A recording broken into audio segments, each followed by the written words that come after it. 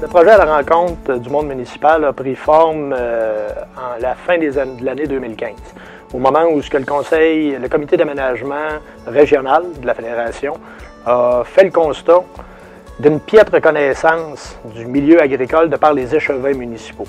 En ayant les rencontrés à quelques occasions, on a constaté qu'ils ne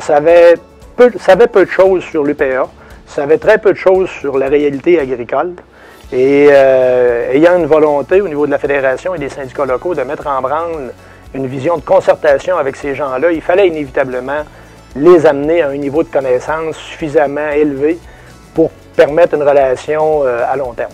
C'est une rencontre qui dure approximativement deux heures. Euh, en langage courant, on dit que c'est un pitch qu'on lui fait, mais c'est un pitch en trois volets. Le premier volet, on leur explique premièrement l'UPA, qui on est et qu'est-ce qu'on fait.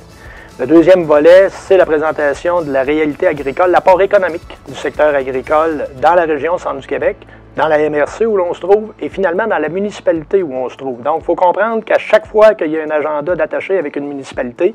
il y a des données la veille ou l'avant-veille de la rencontre qui sont mis à jour en ce qui concerne le nombre d'entreprises par spécialité et euh, le chiffre d'affaires généré par ces entreprises-là dans le milieu, euh, au sein de la municipalité comme telle. Et euh, normalement, tous les membres du conseil municipal sont là, le directeur général est là, bien entendu le maire, et souvent les, inspecteurs municipaux aussi assistent à cette présentation-là.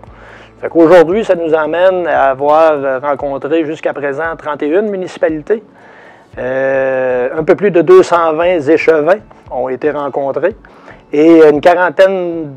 d'administrateurs des syndicats locaux ont été mis à contribution aussi euh, dans le cadre de cette euh, présentation-là. Je suis très, très heureux d'avoir euh, réussi à convaincre mon comité de développement régional d'aller de l'avant avec un projet semblable qui était considéré comme étant un projet de fou lorsqu'on leur a présenté le concept de faire, en fait, d'envisager de tenir 79 conférences au centre du Québec, dont une par municipalité et qu'elles soient toutes tenues par moi on dit ça frise la folie, mais la folie va peut-être nous emmener vers quelque chose qui va être intéressant et aujourd'hui, on est en mesure de pouvoir dire mission accomplie.